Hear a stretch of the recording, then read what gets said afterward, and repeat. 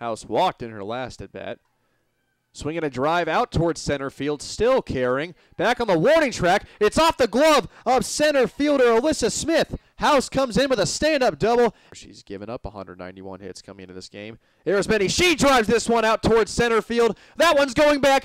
It's gone!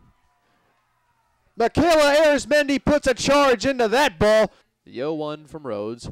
Katey Haus catches the line drive over to first base. Notre Dame gets the double play. 2 1 down the first base side. It's going to get through. Reed is in. Here comes Africano. And she is going to score. Throw from Rice over to second. It goes into the outfield. And there's no one out there. Sarley is going to go home. It's going to be an inside the park home run off a couple of errors. But Notre Dame has opened up the lead here at Melissa Cook Stadium. She drives this one out towards right field. No doubt about it. Into the netting.